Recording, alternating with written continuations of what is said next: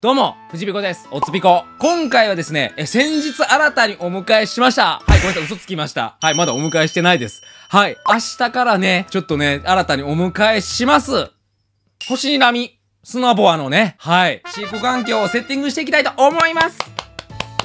はい。いや、ということでね、ちょっと入居前夜ということでね、もう早いうちに先にセッティングしておこうじゃないかというね、はい。ちょっと心待ちにしつつもね、ワクワクしながらね、セットして、で、お迎えした後のね、はい、入れる様子もね、ちょっとこのままね、動画でお届けしたいと思います。それではご覧ください。どうぞはい。こちらがイベントでの星にらみ砂ボアの様子ですね。こんな感じでね、結構たくさんいましたね。どうですか？めちゃくちゃ可愛いでしょ？うこのひょうきんな顔ね。はい。星にらみ砂ボアの名の通りね、この上向きについた目で砂の中から星を睨むということで、さあ、この中からね、どの子を選んだのか、早速やっていきましょう。ということでね、お迎えに向けて、はい、新しくケージ購入しました。こちらですね、ジェックスさんのグラステラリウム6045。まあまあね、結構いいの買いましたね。はい。じゃあこれにね、プラス、はい。ジェックスのね、ヒーティングトップ M。まあこれね、やっぱグラステラリウムはかっこいい。あとなおかつこのね、ヒーティングトップはね、そのままね、グラステラリウム上にぴったりサイズで収まるんでね、はい。とにかくかっこいい。ということでね、今からね、これセッティングして、はい。星にラミちゃんもね、入れていきたいと思います。はい。ということでね、グラテラはこちらのね、はい、OKYD の横にね、置きました。はい、こちら6060なんでね、はい、それに比べると、はい、高さはね、低くて。ただね、横の長さが一緒なんでね、すごい均一感があっていいですね。ただ、おめえらのがいいケージ使っとんかいっていうね。はい、一応 OKYD ちょっと今出てるんで、映しましょう。はい。うん。って言ったら全然映ってくれへんやん。はい。後ろ向いてますね。はい。ということでね、まあ今今日はそのターンじゃないのよ。はい、じゃあ早速ね、セットしていきたいと思います。ちなみに今回床材はこちら、ジクラのね、レプタイルサンドの細めのやつをね、使っていきたいと思います。で、このね、そこにね、一応、はい、パネルヒーターをね、敷きました。で、上から、はい、こちらがヒーティングトップですね。まあ、ヒーティングトップは、昼間だけつけようかな。うん、で、あの、この下のパネルヒーターは24時間点灯で、夜はね、ちょっと温度下げようかなと思います。はい、じゃあね、レプタイルサンド入れていくはい。あ、ちょっと、あれ？ケージがでかすぎて、これ2袋じゃ足らん説ある。もしかすると、ちょんちょんなってまうかな。あー、まあ、そんなこともないか。まあ、そんなこともねえか。まあ、でもよく言えばもう一袋ぐらい追加で買おうかな。あー。まあ、潜れる深さではあるとは思うんですけど、これにね、水入れ、はい、一応ね、端っこの方にね、置いておきましょう。はい、これで完成ですはい、じゃあね、早速、はい、新たにお迎えしました。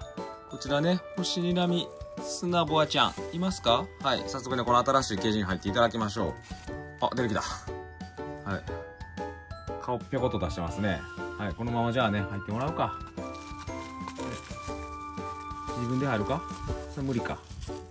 はい。ピョロリン？ちょっと入れる前に、はい。ちょっとしばらく姿見えなくななりそうなんでね。最後にちょっと見とくか。はい、こんな感じでね。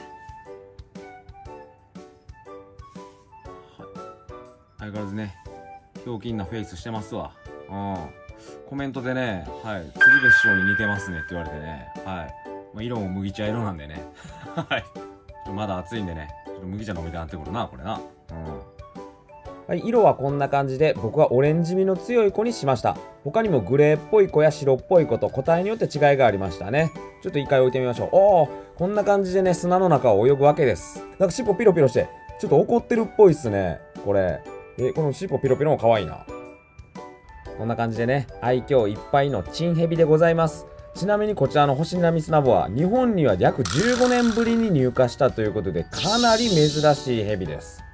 サイズは最大全長40センチということで40センチ近い大きな子もいたんですけど僕は一番中くらいのサイズ現状25センチくらいかな。あ。この正面の顔がおもろいね。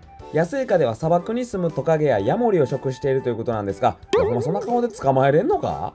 まあ砂の中では素早く泳ぐことができるんでしょうね。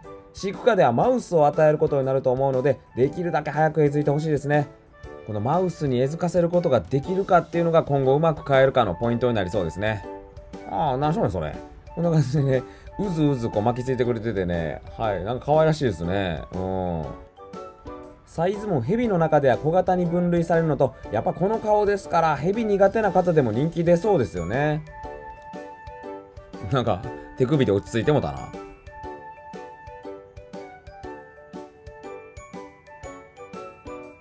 はい、じゃあね、師匠に早速ね、入ってもらいますか。